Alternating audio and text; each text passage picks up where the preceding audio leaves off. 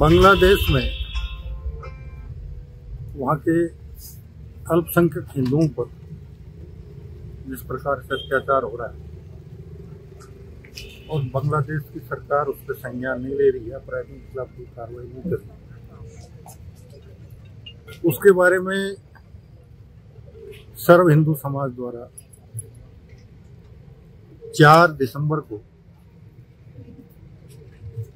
सीकर में और श्रीमाधोपुर में एकत्रित होकर प्रधानमंत्री जी, राष्ट्रपति जी और यूएनओ के नाम ज्ञापन दिया जाएगा। इस सिलसिले में आज चर्चा परिचर्चा के लिए सभी जनप्रतिनिधि और पार्टी के पदाधिकारी एकत्रित हुए। सीकर में डेढ़ बजे रामलीला मैदान में एकत्रित होकर कलेक्ट्रेट तक जाएँगे और कलेक्ट्रेट में जिला कलेक्टर को ज्ञापन दिया जाकर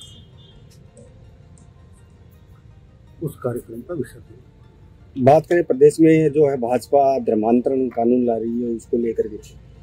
देखिए पिछले कुछ दिनों में जिस प्रकार का वातावरण बना है लोभ में, लालच में, दबाव में, और विशेष रूप से लव जिहाद के माध्यम से। धर्मांतरण के कार्यक्रम हुए, और उसके बाद उनके जिस प्रकार के नर्सन हत्याएँ की गई, ये एक बहुत दुखद वातावरण था।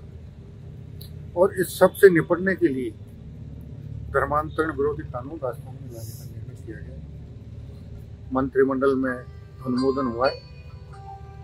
अब जब फरवरी में विधानसभा सत्र आएगा तब विधेयक उसमें प्रस्तुत किया जाएगा। क्या जो लाया जा रहा है कानून धर्मांतरण का वो पहले वसुंधरा सरकार के समय भी लाया गया था जिसका क्या अर्थ हुआ उसी तरह से इसका लाया गया था लेकिन उसका जो स्वीकृति मिलनी थी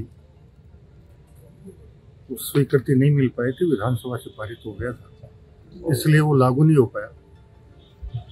अब दोबारा लाकर राज्यपाल महोदय के मार्फत महामहिम राष्ट्रपति महोदय का जब अनुमोदन प्राप्त हो जाएगा तो वो कानून बनकर राजस्थान में लागू उन्होंने जो है भाजपा पर आरएसएस की जो है कहना नहीं मानने का आरोप लगाया मोहन भागवत का जो बयान है उसके बाद उन्होंने कहा उनकी पहले भी बातें नहीं मानी गई।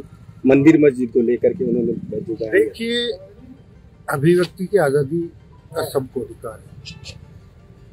मोहन भागवत साहब सार्वजनिक रूप से कुछ बातें कहते हैं और कुछ संगठन के स्तर पे बातें सार्वजनिक वक्तव्य जो होता है, वो समाज सेवकों में और देश की जनता में जागृति पैदा करने के लिए होता है। और संगठन के स्तर पर बैठकर जो चर्चा परिचर्चा में कोई बात होती है, वो लागू करने के लिए होती है। जब तक जन जागृति नहीं होगी, जनता के बीच आपकी बातों को समर्थन नहीं मिलेगा। तब तक उसका कोई अर्थ नहीं है। तो उन्होंने जो बातें कही हैं, वो जनता के बीच चर्चा परिचर्चा हो, उन पे बहस हो, और फिर लोगों की उस पर सहमति बने। और जब लोगों की सहमति के आधार पर उस पर आमजन का समर्थन मिलेगा तो निश्चित रूप से वो बात पार्टी के स्तर पर लागू करेंगे। फिर अगर कहीं आवश्यकता पड़ेगी कि सरकार के स्तर पर उस पर कोई कार्रवाई है तो फिर वो कर इस बात में कहीं कोई संशय नहीं है कि एक हज़ार साल तक इस देश में जिस प्रकार का अन्याय और अत्याचार हुआ, धार्मिक शक्तियों को नष्ट भ्रष्ट किया गया, तलवार की नोक पर लोगों का धर्मांतरण हुआ तो उसमें कोई अतिशयोक्ति नहीं है कि बहुत से जगह ऐसी हैं कि जहाँ हमारे धर्मस्थलों को तोड़कर दूसरे धर्मस्थल बनाए गए। तो अगर अजमेर की दरगाह में भी इस प्रकार का कोई प्रकरण है तो मेरा ये मानना है कि किसी भी बात की सच्चाई तभी सामने आएगी जब उसकी वैज्ञानिक तरीके से जाँच होगी। और वैज्ञानिक तरीके से जाँच होने के बाद अगर इस प्रकार के सबूत मिलते हैं तो उस समुदाय को भी इस बात को स्वीकार करना चाहिए और बैठकर बातचीत के ज़रिए उसका हल कर लेना चाहिए। निकाय चुनाव की बात करें तो जो है कब तक निकाय चुनाव करवाए जाएँगे? अभी परिसीमन और पुनर्गठन।